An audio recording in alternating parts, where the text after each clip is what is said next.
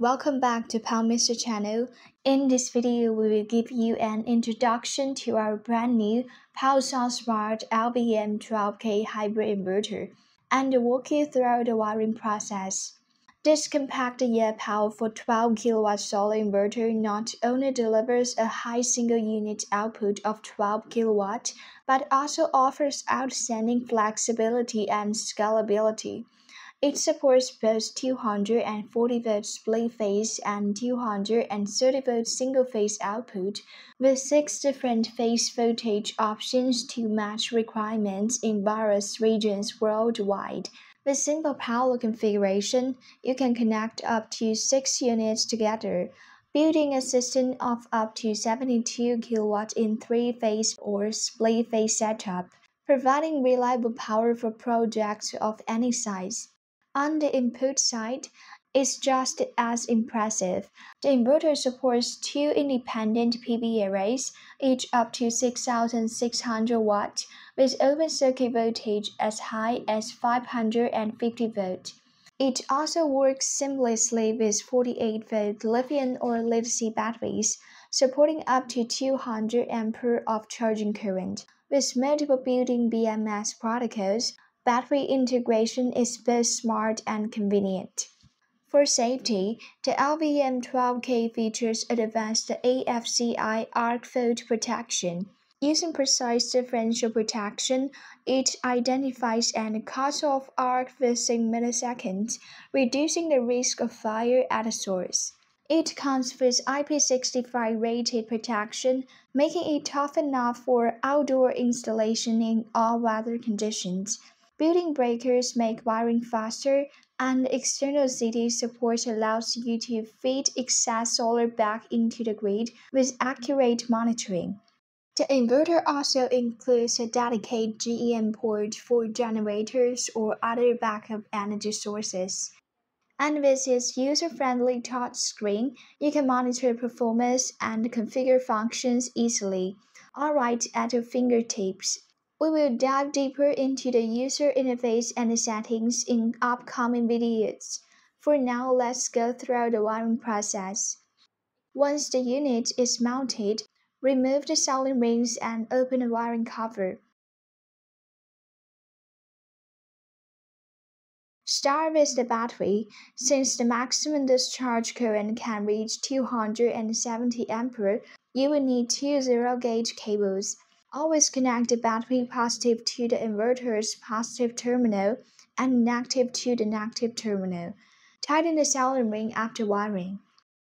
Next, connect the PV arrays. Each input supports up to 25 ampere and each MPPT has two power positive and two power negative terminals.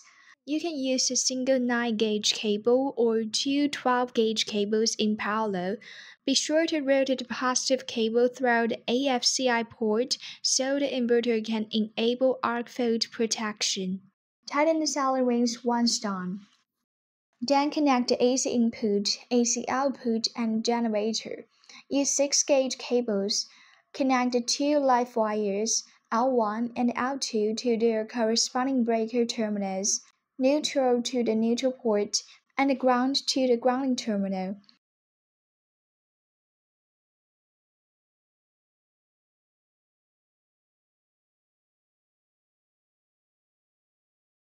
After wiring, make sure to tighten the soldering rings for each connection.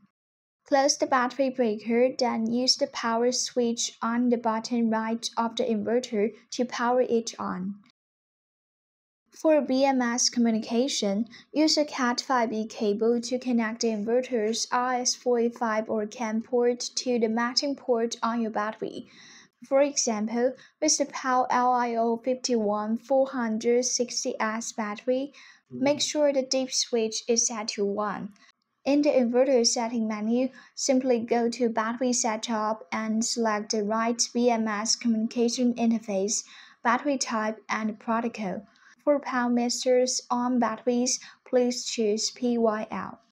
If you are using a Wi-Fi module, just plug it into the Wi-Fi port and mount it in a suitable spot. For details on the app setup, please check our earlier video about the Wi-Fi HFN module. Next, connect the CT. Each inverter comes with a DC set, which monitors both import and export current to achieve precise zero export control. CTs are usually installed in a main grid distribution box. Always turn off the main breaker before installation for safety. Place the CT market L1 on the grid line L1 and the one market L2 to the outer line, with the arrow point towards the inverter.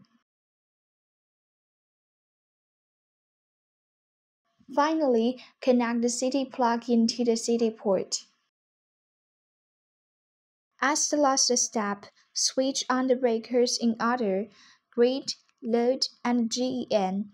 Then turn on the PV input switch. Once the breakers and switch are on, secure the inner cover with screws at the four corners. Close the outer cover and the inverter is ready for configuration.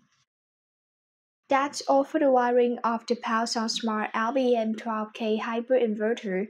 Stay tuned for our next video, where we will walk you through the user interface and operation settings. Thanks for watching and see you next time.